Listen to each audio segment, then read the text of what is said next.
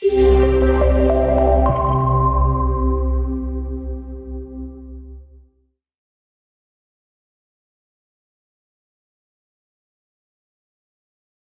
以，系统心理学是什么？它就是研究系统的现象跟运作的一些规律，来了解我们人如何创造这个系统，以及系统力量如何影响人。透过这样子，我们可以增进对生命的理解，并且提高人类的生活品质。啊，这是我给系统心理学下了一个定义啊，下了一个定义。也就是说，他在研究啊。这个系统里面这些现象还有运作规律，比如说公司的系统，哎，公司的系统有怎么样的一个现象啊？哎，家庭的系统有什么样现象？有没有什么样的运作的规律啊？我们怎么去创造这些系统？然后系统力量怎么影响我们？通过这样的，我们对生命才有更深度、更整体的了解，然后我们可以让我们的生活品质能够更加提高。OK，好吧，啊，这就是关于系统心理学这门学问。好。因为呢，系统的力量无所不在啊，无所不在。我们刚刚呢有提过，比如说你在企业组织啊，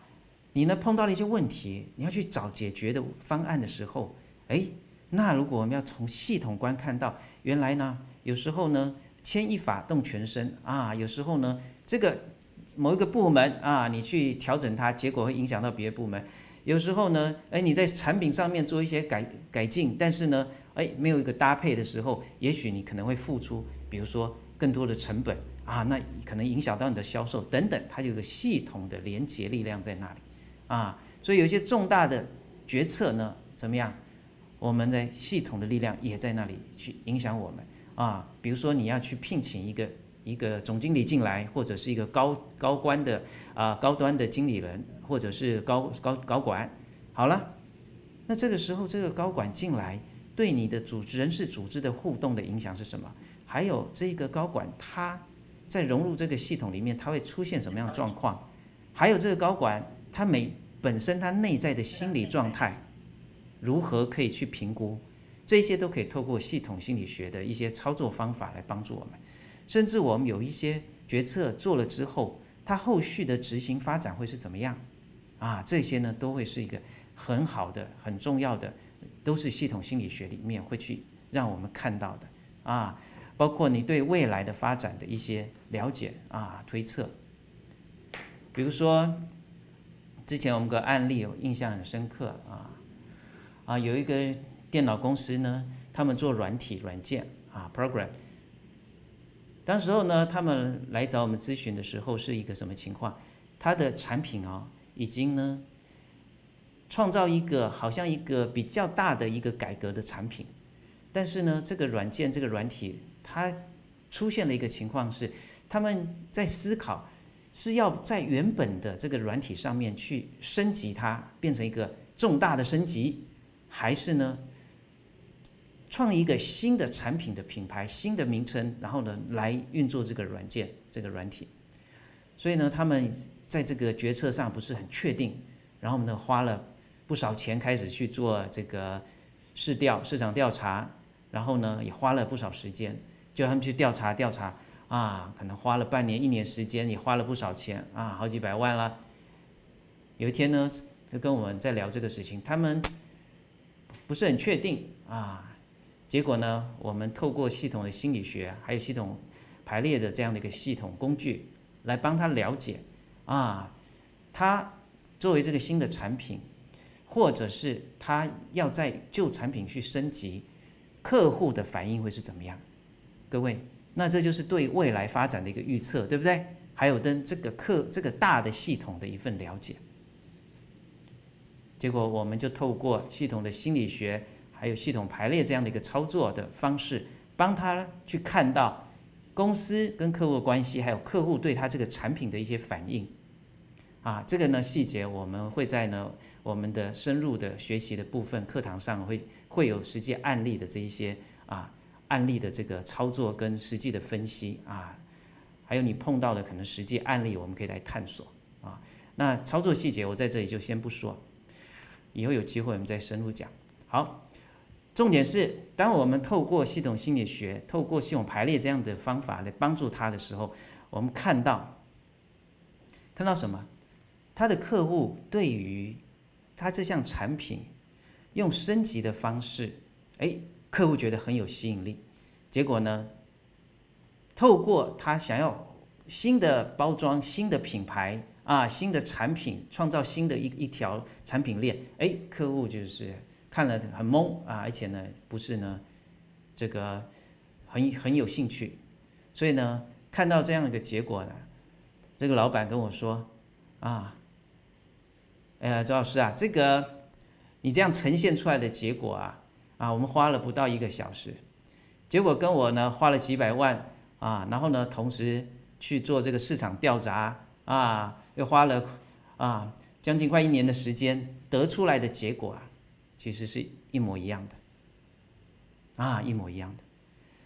所以呢，从这样子的一个系统心理学的时候，我们可以很快的去掌握现在系统里的现象，包括我们跟外在的系统的互动关系啊。就是老板，因为看了我们对他的咨询，他就更有信心了，哎，就往这个方向啊去实践了啊。本来市场调查出来，他还有一点点不是很确定啊，结果呢，哎，透过我们在系统心理学上给他看到深层的这一些系统的心理状态，哎，他很确定了。结果呢，他们就采取这样的方案，后续呢的发展呢就非常的好啊，这个成绩就非常的好。好，所以这个是关于我们说用到的企业组织上面啊，还有呢，它这个系统的心理的力量如何影响我们的企业组织，哇，还有人事的规划跟调整，这可是大学问了啊！有些时候不是只看表面的啊，透过系统的心心理学，还有系统排列的这这门技术方法呢，可以帮助我们更好看到人事的调整，哎呀，怎么去影响系统，然后呢，它过程会是一个怎么样的一个。互动的情况啊，这个都是非常好的。好，包括系统的心理学也在我们事业跟财富上面啊，我们跟财富的关系啊，我们的生涯的规划，还有我们人生的使命，这些都会受到系统的影响啊。比如说，有些人头脑想着要赚钱，但是在他的系统的背后，其实呢啊，有一种比如说留不住钱的动力啊。我之前也有一个关于财富的咨询，在他们家的系统里面。啊，他们的家庭家族里面许许多多的这个亲人，还有他们的长辈，哎，工作做生意都失败了，所以他的财富没有办法留住，而他来咨询的问题就是他的钱也是留不住，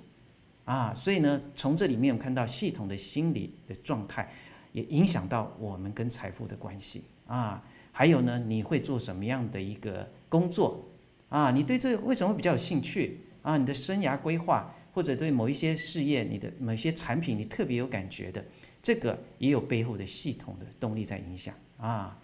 所以呢，从这样子的，我们就看见它对我们方方面面有许多的影响啊。对家庭跟人际的影响也相当的大啊。它会影响到我们的婚姻关系啊、亲子关系啊，甚至呢，如果说家庭的关系相处不好啊，出问题，也影响到我们的工作，也包括我们的人际关系。比如说，有一些家庭的系统里面啊，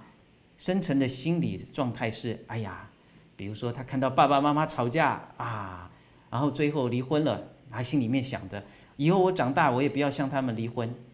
结果很奇怪，他长大了也结婚了。结果呢，虽然他头脑告诉自己不要像他们一样离婚，可是，在深层的系统的心理学的状态里面，我们去看到他某部分呢。头脑虽然这样想，但是呢，因为他对他爸妈妈的离婚呢这件事还没有真正在内心找到一个真正的解决的接受的一个过程，所以他就被这个事情继续纠缠着、拉扯着。那那个系统的力量纠缠在我们深层的心理状态，结果虽然头脑想要创造幸福婚姻，不要像他们爸妈这样，但是在深层的系统的心理的深层的一个动力里面。反而更会去追随的这份心理的动力啊，忠诚于他的父母，所以这些都是系统心理学里面研究的一些现象啊，所以它帮助我们呢，怎么样更好的看到人际关系互动，还有工作的啊的一些状态，还有彼此呢，甚至你的朋友关系、同事关系都会影响啊。比如说呢，您呢如果有背后的系统动力，比如说你可能跟你的爸爸啊。状态相处状态不好，有可能也会在你的公司工作的场合，可能跟你的主管啊相处肯定有问题。为什么？因为在系统的心理学里面，我们发现其中也有个现象是，我们对爸爸或妈妈的这份关系跟投射，有时候我们也会把它投射到我们的长辈，尤其主管啊年纪比你大的时候。那有时候主管不知道，哎，怎么会这样子？其实这些都可以透过系统心理学来探索，好吗？